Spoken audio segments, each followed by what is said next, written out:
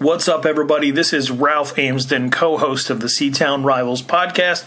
We're about to be joined by Brett Quintyne and Chilly to talk about last week's action in Chandler area football. But before I do that, just a reminder that the C-Town Rivals podcast is brought to you by ArizonaVarsity.com, the Rivals affiliate site covering all Arizona high school football and basketball in the state of Arizona. You can support us by becoming a subscriber. Just jump onto ArizonaVarsity.com, and if you're not already a subscriber, uh, go ahead and subscribe. It costs about $8.33 a month to support all that we do. Subscribing to Arizona Varsity helps us bring you content just like what you're about to listen to. We are also part of the ArizonaSportsCast.com podcast network. ArizonaSportsCast.com hosts podcasts covering Chandler area football, like you're about to listen to with the C-Town Rivals podcast, as well as high school sports from around the state, the Arizona State Sun Devils, the Phoenix Suns, and Arizona Cardinals. So if you could go ahead and search for Arizona Sportscast on iTunes, become a subscriber, leave a review, that would be fantastic. Without further ado, let's get you to this week's episode of the Seatown Rivals podcast.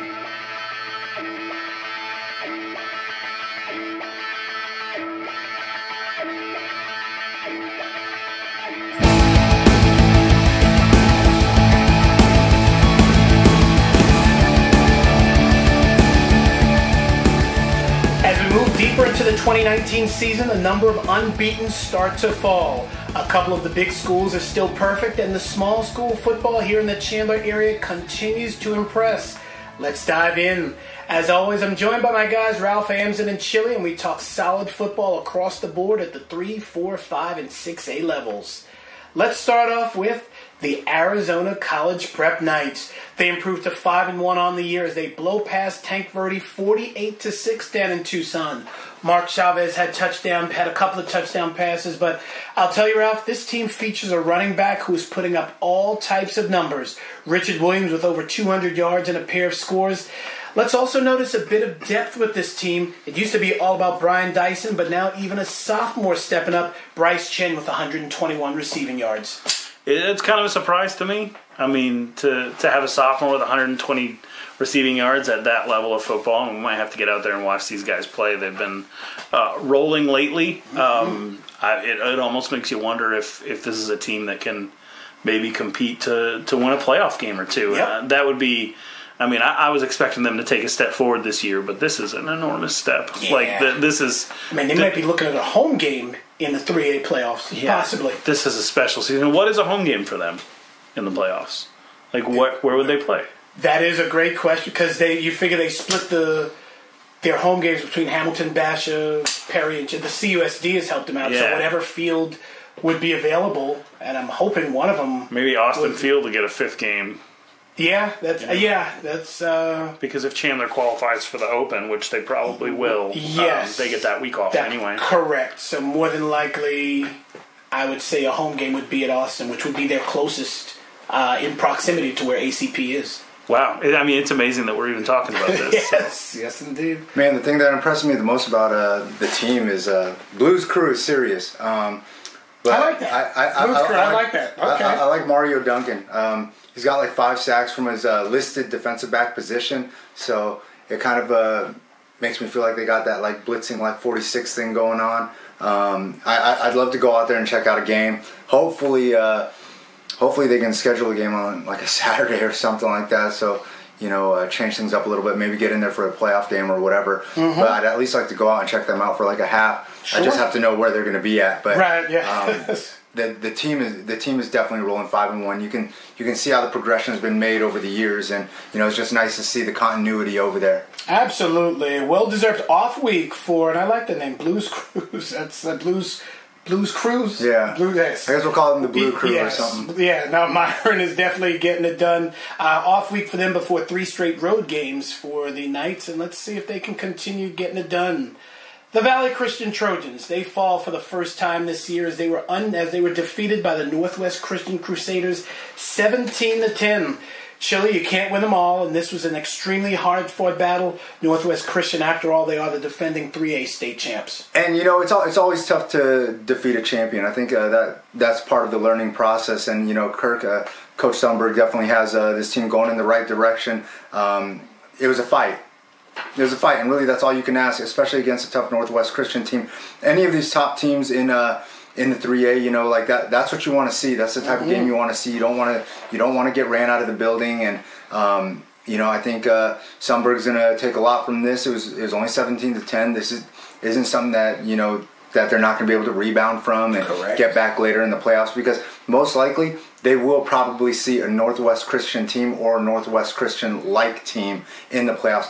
Plus, that's a long ways to go. Like, because they were they were they were on the road for that game, and you know mm-hmm. sometimes like you know you get a little comfort being at home because they were at home for what like uh, three straight or yeah, something like had, that. Yeah, so, they had some um, cooking.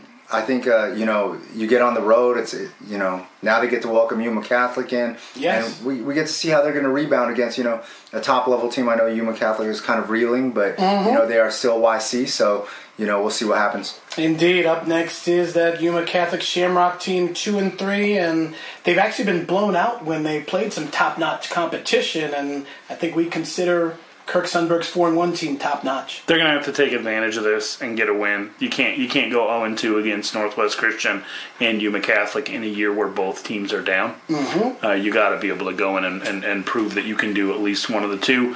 Um, home field would be a great opportunity for Valley Christian to show um, that that they can get something done here. I'm thinking about I'm leaning towards stopping by this game. Okay. Um, uh, you know, e- even for a little bit, I just you know I, want I want to see what this team uh, looks like in its current iteration. And uh, you know, the last time I saw Yuma Catholic, it was when they were losing in triple overtime in the three A oh, final. Final, and so I'm, you know, I'm very curious to see kind of what's going on with that team and why they've taken a step back. If Valley Christian could deal Yuma Catholic a, their fourth loss would be kind of maybe a death blow in the three A. I mean, but also create a very dangerous situation to where maybe you have a four or five loss Yuma Catholic team making its way into a 13-14 seed in the playoffs. You that know, is not a team you would want to see. in No, season, not at true. all. I mean, unless you're uh, ALA Queen Creek, I, I, I, don't think that you're worried true. if you're them. But mm-hmm. um, yeah, I, I think that this is it's it's weird to, to look at a game, uh, you know, where you're four and one and a two and three opponent is coming to visit you as a must win. But right. I, after, I always thought that the, the worst possible thing that could happen for them after having a promising start would be to to go 0 and 2 in in the two week uh, mm-hmm. span that they had Northwest Christian and sure. Yuma Catholic. So to me, it's a must win. I know, I definitely agree. So we'll say go Trojans. The Seton Catholic Sentinels, they're now 4 and 1 as well. What a game they played and what a comeback. Dominic Costantino hits a 40 yard field goal as time expired. That completes a 41 39 comeback victory over the Mesquite Wildcats. Chilly, we talk about young Mikey Castro getting it done as a running back, but he sparked the big comeback as a defensive back. Yeah, you know they picked off uh, they picked off Ty Thompson three times. That's super impressive. Being uh, that Ty Thompson is probably one of the best quarterbacks in the state. Um, mm-hmm. You know, Mikey Castro didn't do it on offense this week. Uh, I think he was uh, bottled up, kind of uh, 25 yards rushing or something like that. Um, but it was nice to see Hansel step up. Hansel yep. almost had 100 yards receiving. Um, you know, your star player isn't always going to go off unless his name is Bijan Robinson. So. You know, this is just one of those situations where you have to learn to find ways to win. Um, sometimes your star player is going to struggle, or whatever's going to happen is going to happen, and somebody has to step up. For now, on offense, it was Josh Hansel. Uh, Lalicata had a decent game, uh, threw mm-hmm. for uh, like a buck seventy-five or something like that. Um, actually, had a higher quarterback rating from what I saw than Ty Thompson. So, right, very not, true. Not not not to mislead anything, but right, you right. know, he did do he did do his job. Um, didn't give the ball up. I think he only had one interception. So, um, you know, that Mesquite team, they're tough. Um, I watched them. I watched them roll Gilbert. I watched mm-hmm. them play up and roll Gilbert, and you know, th- this is a this is a good victory. This is a very very big victory for Seton. I'm super happy for them. Super excited for them. I went to the game. Uh. Stayed for a quarter, left when Seton Catholic was down twelve nothing. Made a brief stop back by when they had they had a lead around halftime. So they must have had a really big second quarter. Yes. Um, this is uh, this is a big game for Seton in that I think what would have had to happen is just extreme coaching adjustments. Mm-hmm. Um, because Ty Thompson was definitely the best player on the field, and he had some receivers who just had a case of the drops in that first quarter. Otherwise, it would have got ugly real quick. But um, one of the things that I noticed right away was like, wow, they're really living on these like short um, slant routes and stuff like that. And, and you got Hansel on the outside, who's six foot five and long. You know, maybe put him a little bit over over the middle and use his length to kind of interrupt some of what. Uh, you know, that was just a thought that was going through my head, and then all of a sudden Hansel has a, a pass batted Nice. down, and those little slants aren't working, and so we already started to see Alex Simpson and I already started to see some of those adjustments in place, uh, but just the fortitude of Seton to stay in this game when they were playing a little bit slower than Mesquite early on, uh, and uh, Chris Hinsey had two touchdowns in 10 seconds against them, which can be really demoralizing. Wow. He had a long touchdown run, and then two plays later, he took a pick six to the house to make it 12 nothing. Then you get a couple of moral victories in keeping them from, you know, Scoring scoring an extra yeah. point. Um, and then Okay. Chris Hinsey uh, almost took a punt return back right after that. He almost had three touchdowns in the span of a minute. Nice. They stop him on that punt return. They end up forcing a, a turnover on downs, and then uh, you know eventually the offense had to get going. That wasn't what I saw when I was there. They had no points when I left, and so um, Dom Costantino is a really good kicker. I want to give credit to him. I mean, the English he can put on a, on a kickoff is you know there's not a lot of guys who can do what he did. That's obviously awesome. kicks a game-winning field goal, so he definitely deserves a shout out. Um, the other thing is Mikey Castro.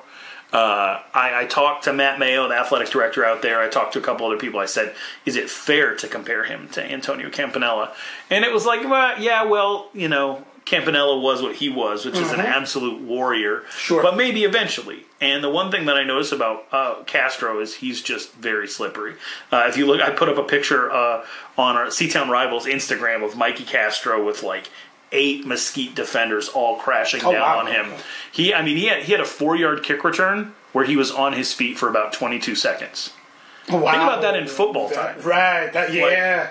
It- you carrying some weight. Yeah. You churning those legs. and he's just sliding in and out of tackles, letting guys miss.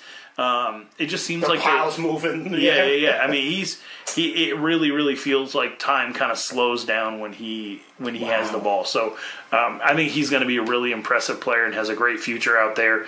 Uh, I'm look forward to watching some film on this game because I, I just after being there for the first quarter, it's hard to wrap my mind around Seton dominating offensively for the rest of the game the way they did. Yeah, absolutely. I mean, it's one thing when we see these Sentinels beat up on, let's say, Combs or uh, Mingus, but a win against Mesquite, which has a sizable population, and obviously, like Chilly said, one of the best quarterbacks in the state, for them to have that comeback victory, that's really solid. So at four and one, it's uh, definitely good to see. They head over to uh, Tempe next week on Friday to face Marcos de Niza. The Padres are three and two on the year.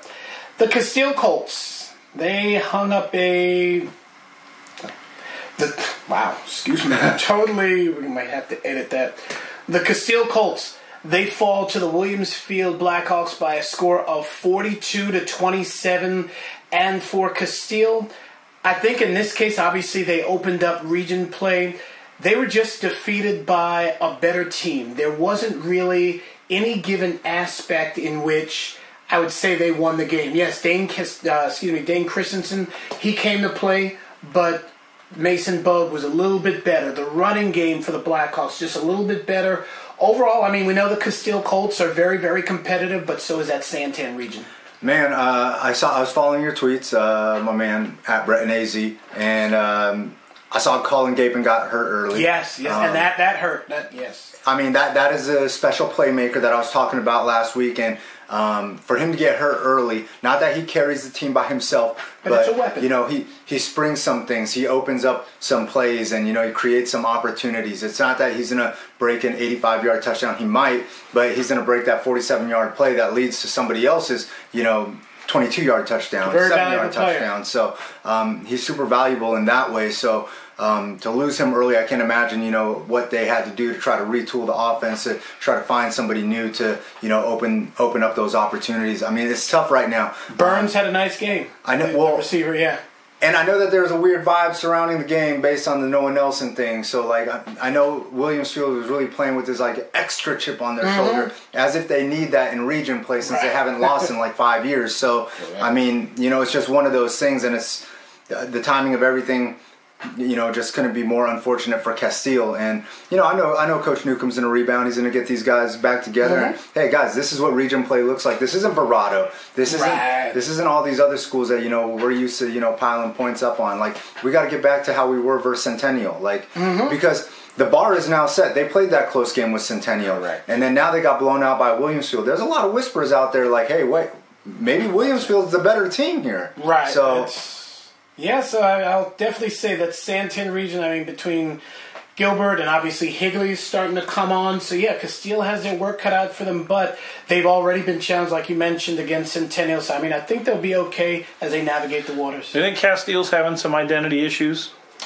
I do a little bit, yes. Yeah. I will. Or uh, you do you you have some identity issues out at Casteel? It was it was interesting. It was uh, so I'll, I'll just say the administration felt that I was somebody different. They thought that I was Bruce Cooper, which was kind of uh, it, it was it was You awkward. gotta you gotta tell children this story. Yes, I, I'll definitely. Yes, I'm going to elaborate. We've got the, the mic open and the whole nine yards. So, so I get out there, my normal time, 10 to 15 minutes before kickoff, standing in my little perch, and uh, the AD, he comes over, hey, how you doing, Bruce? Hey, what's up? This and that, blah blah. and so I've been called a lot of things, so I thought nothing of it. And I was like, hey, it's my first time here this year. Last time I was here was, and then so we kind of slid the conversation over to the principal. He's like, so uh, you overlooked it completely I, I yeah, I'm like, Oh, okay it is you did him a solid okay. right. So then, oh hey, do you know Bruce Cooper? And this is the AD and the principal speaking. this is the second time right, and I'm like, so then he's like, of course I know Bruce Cooper. I grew up in the valley. I'm like, I'm not Bruce Cooper, and I show my AZ Preps 365 badge. And They give you that look like, "Are you Seatown sure you're not Bruce Cooper? It- and I mean, it was a very awkward scenario. I was like, I was here for your last game last year against Higley. I was here for the opener against Centennial. I go a long ways back with Spencer Stowers, Dr. Lundberg. I was a wait so you're fan of her. justifying now that you are not bruce cooper Absolutely, and yes, like they didn't believe you they and thought it you were was laughing. very. Are It you was, it was an awkward scenario, and then we all just kind of went on about our business, and I continued to cover the game. So it was just it was weird because i mean I I feel this. there's so many things i want to say right now You can feel free to No, say them. I'm- It was just, it was odd I don't know about because. I guess my scenario is in the high school realm. We all should kind of know who we are, and it's not even so much by first name. It's like if you see the guy with the camera in his hand. Oh, hey, That that's doesn't the mean team. I'm Cam Cox. That's the, no, no. I'm, I'm even talking about still pictures. That's that's the team's photographer. Or oh, hey, I'll be the first to say I didn't know Zach's first name all the time. Zach Alvira, the outstanding Yeah. writer. Yeah. But I knew he's a writer. I, I didn't mistake him for anyone else. So it was it was a little bit different in that I've been out covering this school for years, and I was called full name by someone else. no no disrespect but i just feel like bruce cooper is kind of like the goat of what we all try Oh, to do and aspire to be if you are going to mistake somebody for somebody do not mistake somebody for bruce cooper I, I agree. Oh, well, um, here's the other thing that I was kind of kidding about. like don't say you grew up in the valley of course you know who bruce cooper is when Right. Yeah, that, yeah, that's the worst part. Right. Of it. Yeah, oh, no, of course I know Bruce. And then I guess here's the thing: I'm a lot of things, and obviously I'm older than both of you guys, but Yeah. I don't look like a 60 year old man. And Right. Bruce is clo- closer to 60 than I am, and I'm, I'm not quite there. yet. So I, I just feel it was, it was, a, and, and I'm a fan of Bruce Cooper, but I, I just it was it I was like a to think that he keeps himself in shape. He does, but Just he- he you know, not like yourself. You know, I know you go to Lifetime and stuff like that. Shameless plug. So There we go. Um, but uh, it, was- it was different. It was um, it, it was it was different, but uh, go Colts and What do you think? Do you, do you think Williams Field was just sort of energized by all the stuff that was going on, or do you think they were just the better, te- clearly the better? just team? in talking with Steve Campbell after the game, I, they didn't really use that as a motivation. It was a next man up philosophy. They were Well, like, they, they didn't even have time to use that as motivation. They just found out like that yeah, day, you- that yeah, morning, earlier, like that. yeah. So it was. I I think they're the better team. I, I just think that from top to bottom, if these two teams were to meet again, with or without Noah, I think we'd probably have that same one loss result.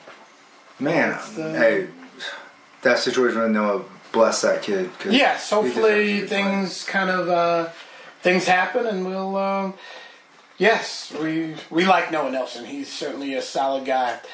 The Basha Bears they dropped to four and two on the season after being defeated by the Red Mountain Mountain Lions 47-21. Competitive game up until the fourth quarter, until the Mountain Lions scored 19 unanswered for the victory. It was Cannon Clark behind center for Chris McDonald's club, and he responds with a pair of TD passes both to your boy Zion Williams. He had 159 yards receiving, Chilly.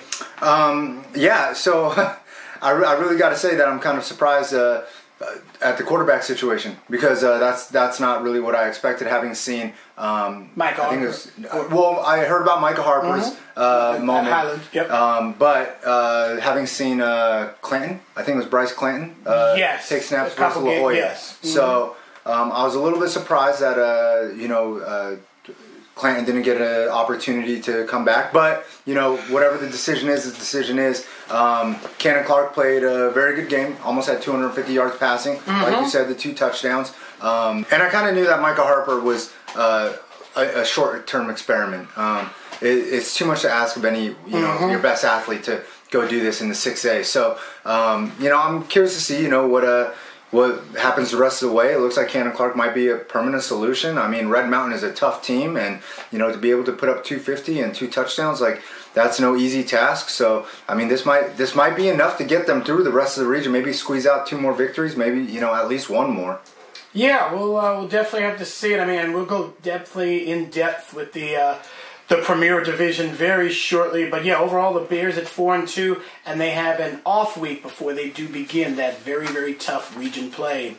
The Perry Pumas, they rebound after the loss last week and outscore the Boulder Creek Jaguars 59-43. The Pumas got on top early 21-0 and never looked back. Chuba Purdy 304 yards in the air with five touchdown passes, 104 yards on the ground, and a rushing TD. He hit a couple of receivers nicely, Ralph, with Jordan Young snagging 10 catches for 124 yards and two scores. Bryce Holridge, five catches, 108 yards, two scores. Good to see the offense get back in track. Yeah, I mean uh, they they had a pretty decent week anyway. Um, in a loss, uh, but yeah, I think that as long as Chuba Purdy is able to distribute the ball to everybody, because I think we've talked a couple of times on this that there's not really that feature star offensive player, um, either at the running back or, Or receiver, receiver, position, uh, which most other teams at the top level have. Yes. Um, and we'll definitely get into that yeah, very shortly when we break down the yeah, region. yeah, yeah. And and and it's one of the things that kind of creates a worry for me because um, high school football, had, especially in Arizona, has become all about the like great quarterbacks who go on to do great things and, and you know we I spent my Saturday watching uh, Bryce Perkins and you know and Brock Purdy. That's Mm-hmm. Sure, you that- know the cool. quar- quarterbacks are, are are getting ridiculous. The ones that are coming out of Arizona, um, but it's still high school football, and a good quarterback isn't enough. Correct. Like, in fact, it's the teams that have the other surrounding uh, talent. yeah that that can beat you to death like by running the ball Mm-hmm. or or strongest on the offensive and defensive lines that are always the most dangerous it's why centennial has had a dynasty it's why Saguaro has won six straight championships without sending any Quarterbacks quarterbacks, to the to next level. power That's true. five level That's you know they send quarterbacks on but not not to the No. power not to the power Right. five. You know, it's why Hamilton dominated for as long as they did with senior quarterbacks who went on to play at like Division two or FCS level football. Um, so If at you- all. Yeah. Yeah, yeah. So you can't. High school football is still high school football in that you really don't go out there and win with a quarterback as your best player. You can finish a strong second you know, like Daniel Bridge Gad Mm-hmm. Right. and uh, and Paradise Valley did against a Desert Edge team that was just bigger and meaner. Sure. You know, but it, it's very very rare that we see a quarterback take you all the way to the promised land, and that's kind of what Perry has Mm-hmm. been looking to do the last couple of years. But they may have taken a, even a step back at the skill position level from last year to this year. So when you see Chuba distributing the ball all over the field, it's just giving a lot of people more opportunities to kind of break out and get comfortable and establish themselves. And you're going to need multiple weapons. Um, Absolutely. the one thing that we always saw from, you know, when Chandler would go to the championship, uh, every single year we always make the joke of like, all right, who is it that, that that's going to break right. out? That because they had a championship that they won where Micah Reed Campos was the star. Correct. They And had a championship the, where the Taj. tight ends. Uh, oh well, Taj DeCarrier. Yeah, Um, I forget the tight end's name. I thought he was number. Well, he wasn't number ten. Uh, in the where they beat Mountain Point, he stepped up and had two TDs. and then the next year it was a Liebrock. Are you talking about? No, it was another. Wow, I can't. This. Baldenegro or sh- I'm- yeah, I'm gonna have to dig up that. oh rock. Jarek Jarek Caldwell. That's yeah that's, yeah yes. no no no That guy. Yeah, Yeah, every- that guy. Right, but yeah and and even then Brayden Liebrock didn't break out to the playoffs of his junior year. So Right. You know that that could be the case for Perry. It could be that somebody needs to develop through the season Mm-hmm. Sure. to step up and Absolutely. um, and be that help. So yeah, I mean, I, I always like to see that the ball's getting all over the place, and because Definitely. you know, when I look at that team, I think uh, Jordan Young's the weapon, but you want everybody yes. to be involved. Absolutely. And so And I- let's, I- let's we'll dive into the Premier region a little bit. I want to get your thoughts on Hamilton. Perfect six and zero. They blasted Dobson Mustangs sixty three to seven. What I like, something you like that running game. Sebastian Dorman, Gabe Armenta, they found the end zone, but it was the defense and special teams that dominated in this game. Pick six, fumble return, and punt return by your freshman Cole Martin. Hey, Cole Martin is an absolute monster. As a class of 2023, uh, you know, freshman on varsity, he is so amazing and dynamic in the way that you know he plays on defense. He covers space better than um, any freshman corner that I can remember on the varsity level.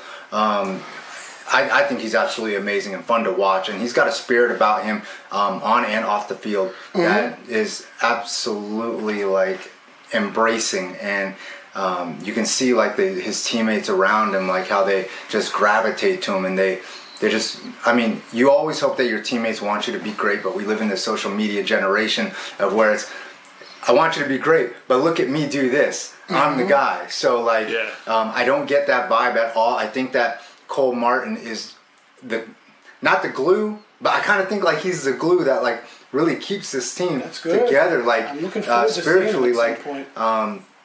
it's just amazing to watch like how all these seniors like take to him and you know before after during the game and everybody's hopeful like and i mean like i said you hope that your teammates are like that but we live in this new generation where sometimes they aren't Very true. And then last but not least, the Chandler Wolves. Back to back to back state championships. They beat up on Desert Ridge 52 to 14. They extend their winning streak to 18 games. Day Day Hunter, 138 rushing yards, 3 TDs. Mikey Keene, 21 of 25. Um, Ralph, we were just talking about spreading the ball around. Keene found eight different receivers. Yeah, uh, I I also was at I was at a bunch of games. I Yeah, went and you I- got around them, I went and took some pictures of Hamilton pregame. They looked really good. Uh, here's a little aside from that Hamilton game that I absolutely love. Um, Fred Dupree was the first principal of Hamilton High School. He was there in Oh, wow. 1998, which would have been my freshman year of high school. My parents made me go to Chandler, even though I wanted to go to Hamilton. um, all my friends went to Hamilton. I went to Chandler kind of by myself. Uh, my parents' justification for that was you missed the bus too much. And so you're going to go to the school that it takes less time to walk to because we're not driving. That's you. funny. Uh, and so I was like three miles from Chandler, three point five from Hamilton, or something. Okay. Like that. Oh, wow. So that whole decision was made based on Proximity my irresponsibility in junior high of missing the bus too often. Um, but Fred Dupree was the principal of Hamilton, and my best friends were all at Hamilton at the time. They loved him. Um, he was the principal, I think, up till like maybe like 2015 or something like that. Uh, and then moved, retired, moved to California and I'm out on the field talking with head coach Mike Zdebski, and he tells me like, "Do you know who? You know? Do you remember Dr. Dupree?" And I said, "Of course." And uh, he said his son is starting on the offensive line for us tonight. Oh wow! His son would have been maybe not born yet Wow, at the time. yeah, that, uh, when I first had heard of Dr. Dupree, he'd Wow. come and spoke at our junior high or whatever. That's funny. Um, okay. and so and like and so they had like an injury or a sickness or something like that on the offensive line, and uh, Dr. Dupree's son was the backup. So I mean, it just awesome. next and- man up in effect. yeah, and then the cool thing is, then I got to go to Chandler High afterward, where Terry Williams, the principal who uh, was the principal before Rother and who became principal my sophomore year at Chandler High School, all the way up through it just a few years ago when Larry Rother took over, and I got to tell him like, "Hey, Dr. Dupree's son got to That's start very cool for stuff. Hamilton," and he he was just absolutely like thrilled with that news, and so um, it's just a, it was a really cool thing that made me feel super old, not Bruce Cooper old, but no one no one called me Bruce out at Chandler. Um, that, that'd be really crazy. Yeah, that would be that- pretty funny. uh, but yeah, so um, but the Chandler game, it was it was uh, twenty eight to seven or something like that when we got there 28-7, Okay. 2010. Uh, and uh, Chandler really broke out in the in the third quarter. They kicked a field goal, then Gunnar Maldonado returned a punt. It was a fifty eight yard punt return for a touchdown where he went also sideline to sideline. It- I mean, it was really special to watch. Uh, and then the backups just went in there and, and, and finished Desert Ridge off. Um, Chandler's pass rush right now is absolutely ridiculous. Just ridiculous. They got Brandon Buckner back, and him paired with Jeremiah Tyler. Sure. Um, it's a lot to deal with. And I mean, that's not all they have on the defensive line. It's not even close. Um, but it, their pass rush is absurd. The Mikey Keene looked good. I mean, and again, I'm going to have to keep apologizing to Mikey Keene. Or I'll just say, you know, good job answering the question that I Sure. No, posed of, you know, can Mikey Keene, um, you know, uh, hold the hold the Yeah, throne, right? he is. uh, and he, he has been. But that defensive line right now, to me, is the strength of this whole team, and, and they played a very special ball game against Desert Ridge. And so, as we start to talk about this premier region, and let's stay on Chandler because it's fair to say that they are the creme de la creme, at least on paper, so to speak, and definitely pretty much in person. I don't think they've lost a region game since 2012. Ralph and Chillian, let's start with Ralph first. Yeah. What does Chandler need to do to remain unbeaten and get a fourth consecutive crown over the course of the rest of the back half of the season and the postseason? Uh, just avoid distractions. Um, one of the distractions is something like 347 penalty yards in the Okay. first half against Desert Ridge. Have you ever even heard Wow. such a stat? That that's crazy. Yeah, because so- they've been over the last few years every now and then a few more penalty yards than one would like, but 347 is Oh crazy. yeah, that never changed about Right. My, from my time at Chandler until now, No, it's never- literally okay. everything is different except for the fact that personal foul flags are wow all over the place. Okay. Everything about Chandler from when I went there to now is different except for The penalty the penalties. And I, I mean, I did a Sports 360 AZ broadcast about a few years back where all I talked about was Will was like, hey, you can expect probably like eight 15 yard penalties in this Wow. game. This is something, and, and that just goes to show you how talented Chandler is. Um, and it speaks to a long standing theory that I'm not going to get into here that like talent matters more than discipline. Discipline is important.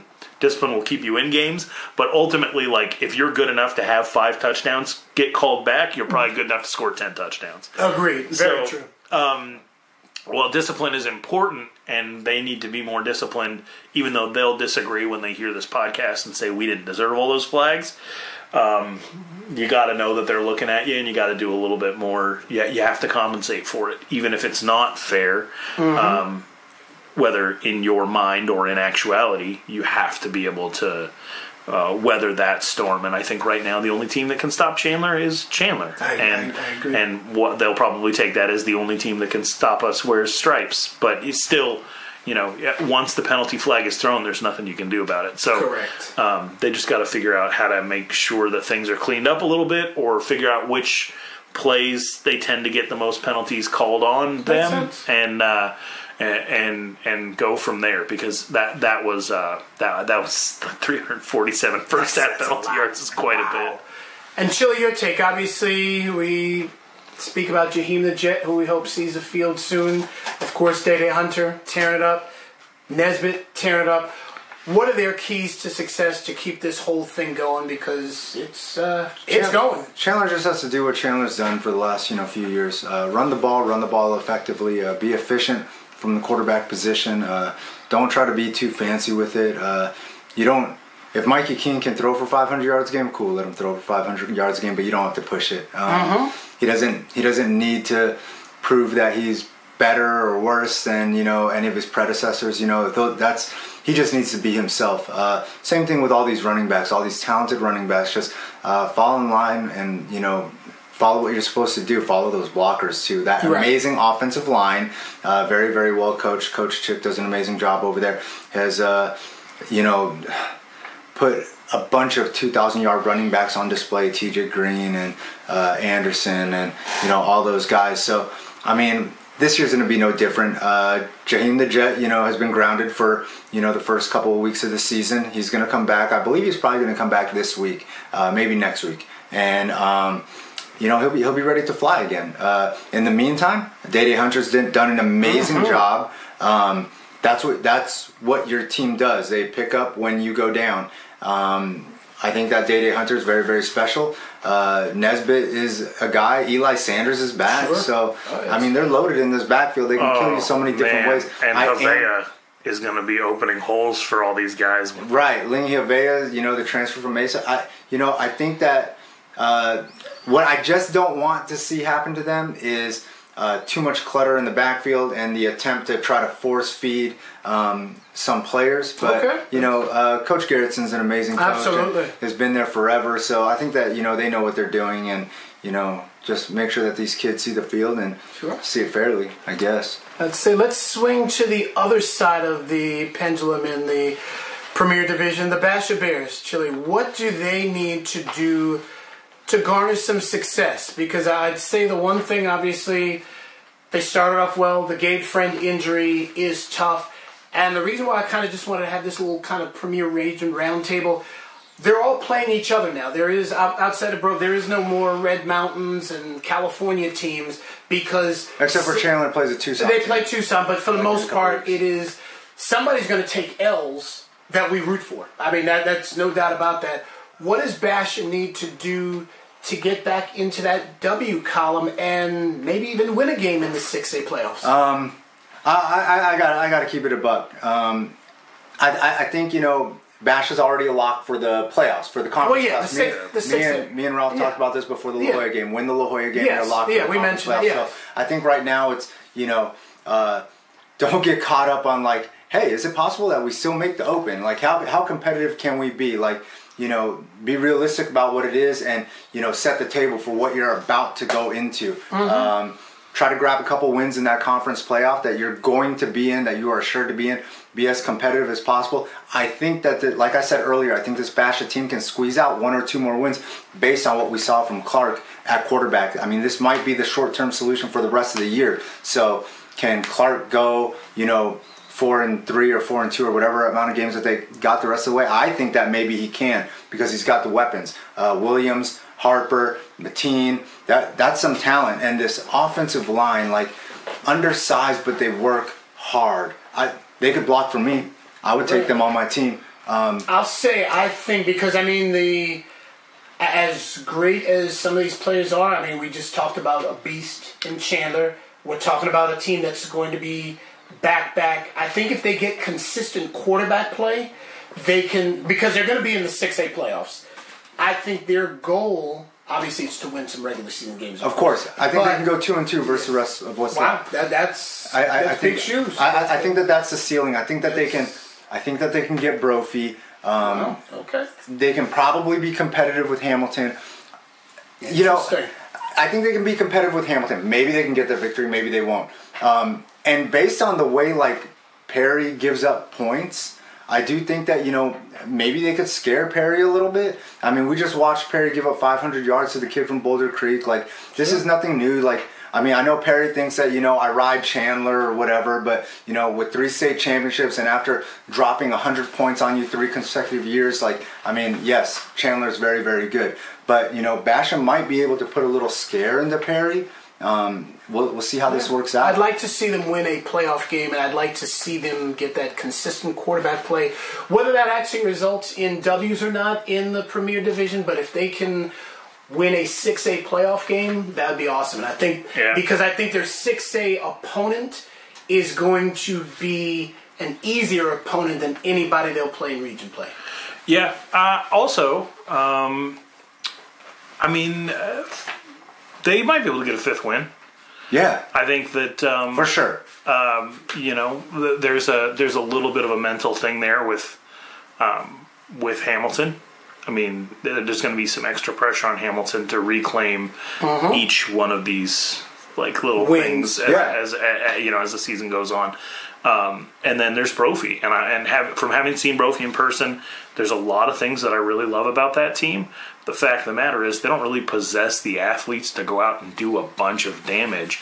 And while their offensive line can be dominant, it's not necessarily the type of offense where they've got a quarterback that's just going to be going Nuts. you know, yeah, and so um, they're still pretty young at that position, and they like to mix it up offensively. Perhaps they get too cute. If you can, if Basha can keep a game ugly, um, then I, I think that they that they have a real shot. And you know, it's going to be tough against an explosive offense like Perry, and you know, Chandler's Chandler. But I, I think that uh, when I look at Basha, I, I think it would be a real um, boost for that entire roster to have just stuck together through Gabe Friend's injury and try to try to get a region win. Mm-hmm. Yeah, I'd like you to go, see that. go Yeah, into those playoffs at four and five, you know, because if they you go into the playoffs at four and six and you don't get a win in the playoffs, Right, then four and seven looks a lot like the Gerald Todd seasons, right? It does. No, you're right. That's what those were. That's And very so- true.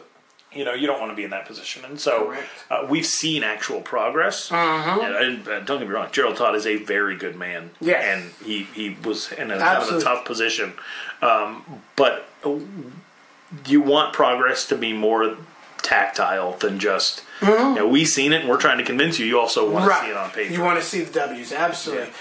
The next two teams who are in the CUSD, who are in that Premier Division, the Hamilton Huskies and the Perry Pumas. Chilly, you like to say that they are back back. I tend to side with you. I have not gotten to see them yet. Um, what is it about them that, aside from them being 6 and 0, it seems like it's the unselfishness of this team? I have I have, I have a love hate relationship with um, some of the contributing factors to Hamilton being back back. Okay. Hamilton being back back, some things have changed. It is no longer the days of where players are just going one way and focusing on one position. Brendan Rice is not just a wide receiver; he's also now a defensive end. It is crazy to look at him on one side and Jeremiah Trojan on the other. Right. Um, okay. Zach Lewis, their probably their third best weapon on offense, is also their best coverage guy. wow. You know, you know, it, it was like the year when they had to put Cole Luke um, on both sides of the field, but they're doing it at so many positions, Positions with so many okay. players. Um, what's it called? Uh, one of- one of their linemen, um, not Finn Leckie. They have another kid that goes both ways, and man, I forgot his name, but um, he's an absolute stud on both sides of the ball, and he's uh, very, very important. Um, Hamilton is back, back, and it's just different. And that's my hate is that they have these players going both ways because I don't think that you can win uh, the big school championship that way. I don't know if you can win the Open that way um, with all your star players going both ways. What I like about it is that it's different and it's getting away from what Hamilton was. And you know, for a long time, I resisted the Hamilton's got to change. The Hamilton's got to be different. They got to forget about the past. You know, this isn't those days. Ralph used to say that all the time. You know, after watching it, I kind of agree with it. I kind of agree with it. Back in the day, you would have never seen um, a Cole Martin probably starting at one of the most important defensive positions. Um, you wouldn't see him getting all that playing time. Now he is. Um, you probably wouldn't even see him at all because he, he was Beyond a freshman. freshman, yes. Because he basically Pretty rare for a freshman to get that level. and he's not the only Garrett one. Rand, He's not the only one. Wyatt Milkovic is another one. Yeah. An absolute stud of a Chandler. Davis got pulled up before he got suspended for the year. like it, it- it's it's crazy to like it's different. And you know I, I have a love hate relationship with some of it I, I love I love the whole you know giving the freshman the opportunity thing. But you know I do hate the some of these kids are going both ways. But you know it was cool talking to Brendan Rice. I talked to Brendan Rice on the vlog. Shameless plug uh, justchili.tv make sure you subscribe. Um, you know he's he's glad He loves playing defense. He's Yeah. glad to be on the field and showcase his talent on that side. Not that he wants to be recruited as a DN. I don't know. I, I would probably still make him a four star DN though, because he's pretty big. He he can do some things. He can do some things, but. Like he just loves being out there. He loves being on. He plays special teams, and I'm not talking about kick return, punt return. I'm talking about coverage That's Yeah. coverage So I'll ask that, you, Chip- that yeah. he can put his pride aside, being one of the top players in the country, put his pride aside and do some of these basic duties that you would reserve for, you know, reserves. So I'll ask you, Chilly. Obviously, they've got four games left. You know who those games are against. Doesn't really necessarily matter the order. Is Hamilton an open team or not? Think of who they've got I- playing I- and how it all shakes out. I expect them to get Brophy. I expect them to get Basha. Um, they gotta they gotta prove they can beat Perry because you know Right. Perry's done this thing to them, Because and they gotta prove they can beat Chandler. Now, it, two losses is two losses too many. Um, uh, that that that's a question I don't know. Could they compete with any of these uh, eight teams in the Open? Oh, they can, One, yeah. we're gonna find out when they play Chandler, but right now I'm gonna say yes. I think they could. okay. Uh, yeah, probably. Even if they go eight and two, probably they could make it at this point. Um, the the stuff is out. I mean, so we can talk Oh, did- about. oh, wait, wait, hold We on, can wait, wait. we can talk about where we're at Okay. right now. I mean, it came out. It came out an hour ago. So Hold on. Let me Hamilton Let me is plug on there into- now. find. Where's? All right. All right, so here I'll get you pulled up. I'll just show it. To, I, I, I tweeted them out, so I got them right here. So Did you go through What- the? It's weird how we're you got talking you got to about go this through the AIA app, but Right, So real which quick, I'm while you guys are while you guys are going through this, Can I get it through here? I do think that you know Hamilton um, could elevate themselves high enough with a couple of these victories to wow. Well, Ham- afford yeah. some losses. Hamilton's three right now. They're Yes. gonna. They're, uh, everybody's gonna get a boost for having even played Chandler, so you don't have Right. to worry about that. Um, it's the Perry thing. That's- if they, and if, that's where it if comes they, down If to. they lose to Perry, then they really got to start thinking about you know probably a six A conference playoffs. If they beat Perry, then they're, then they're probably going to be in. That's Ab- even. That's no matter what happens against Brophy. I think that a two loss. If the two losses are to Chandler and Brophy, I think that they're probably going to be okay.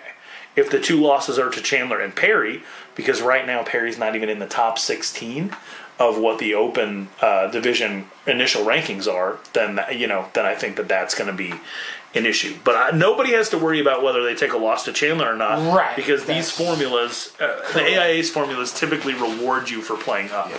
And I'll say this: yes, we seems like a lot of stuff spins off of Perry. What does Perry need to do?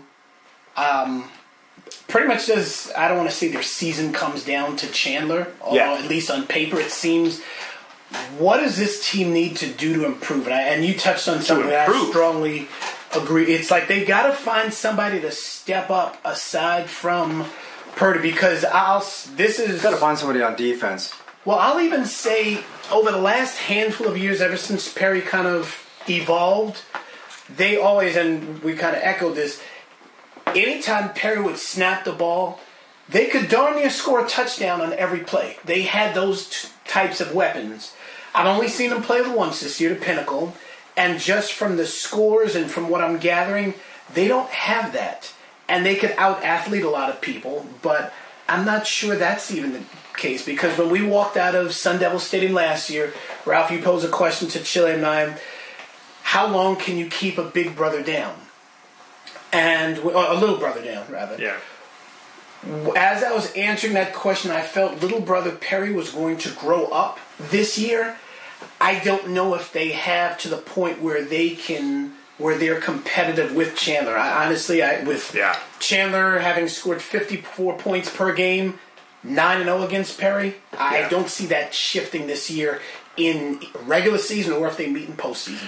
Yeah, I mean, if I'm Perry, I, I would almost get kind of gimmicky in these last four games, and I'd put eight in the box, like against everyone always. Mm-hmm. I would crash down on everybody's running game. I mean, I, I would, I would just get nasty on people's running games, and I'd put, I'd put my best athletes out at corner and and let them play on an island.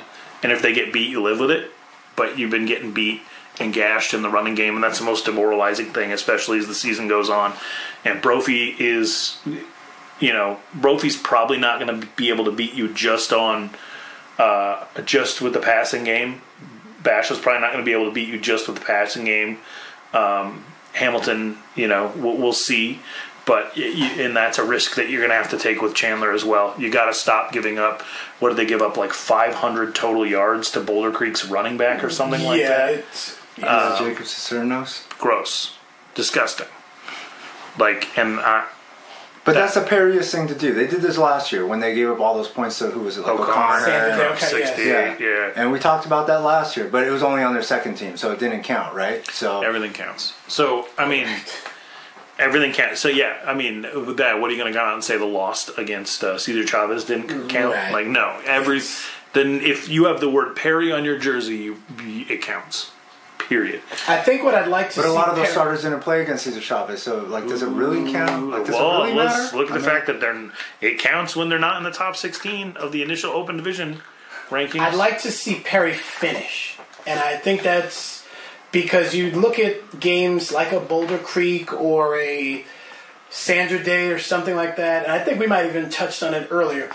Chandler wins those type of games 55-7.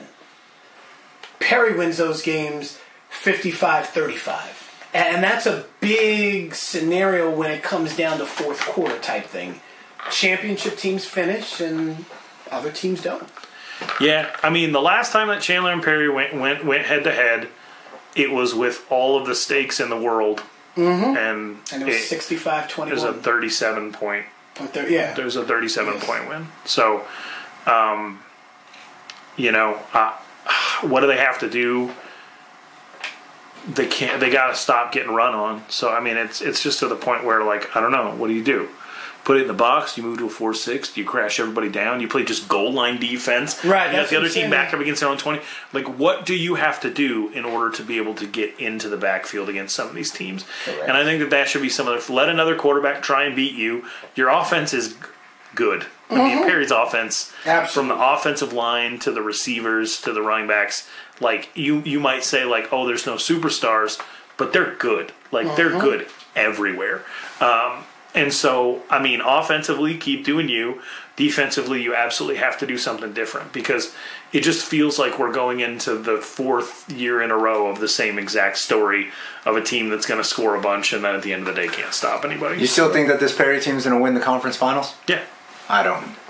I do. Meaning For the same reason that yeah, the six A conference finals, and I don't because of the same reason that Brett was saying they can't finish. I haven't seen them finish yet. But who, like, who's going to challenge them?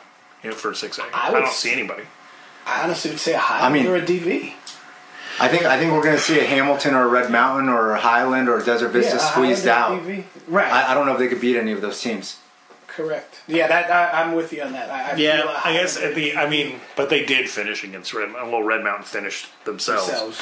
But like I, Well, I mean, they're just going to see those teams like again. Now they're going to see Red Mountain again. yeah, Correct. I in in in Chubba Purdy, I You I- trust place my faith. Okay. absolutely. in the conference playoffs. yeah, I told you I- they were never going to make second- the open. I told you they would never, under any right. circumstances, would they make the open. Against I- the best of the rest. I, they will be the six A conference champion. Wow, I, okay. I, full- I've believed that for Bet the five house on months it. now. I, I would have been saying it as loud as I possibly could for like five months, and so I, You got, I got to no, stick no. with it. That's. Uh, I just said that it. I'm about to own a house in Maricopa. I'm gonna go live out there. we can share Yeah, you house. haven't even driven out there I've yet. been so there. I, I, I, I can, Yes. I can probably depend on being able to stay out there even if you win. But so here, I, but the team that I said that they would meet, the team I said that they would meet in the six A conference finals, does not look like the, that will be the team, and that was Desert Ridge. And so Okay. I, I thought that it would be, I thought it would be Perry and Desert Ridge there at the end, and I, I think you're probably right. It's probably going to be a Red Mountain or a Highland. Yes, that's uh, good stuff. Well, fellas, I'm glad we were able to break down this premier uh, premier region. It's uh, we spend a lot of time Real- talking about that. Yeah, How did how did this region get the name Premier? I feel like that's so like Oh, isn't it the condescending best? to every Yeah, other yeah, region. yeah, Even- yeah, everything else is a is a re- Santana Central. Uh, But Yeah. as Chilly would say, Kilo where's Valley. where's the lie? No, it, it, it is premier. No, there that's isn't, for but it's so, It's, it's like- ironic that it's. Uh, and it has been the best region for for we many cover eighty percent of the teams in the Premier region, and They should change. half of our podcast is dedicated to the Premier teams. yeah, they should change the the uh, the five A uh, one that Casteel's in though. Santans. Call it the like yikes or something like that. Oh goodness! Oh, that's Speaking of the word yikes, well, hopefully nobody was offended by this podcast, but yikes, we're out.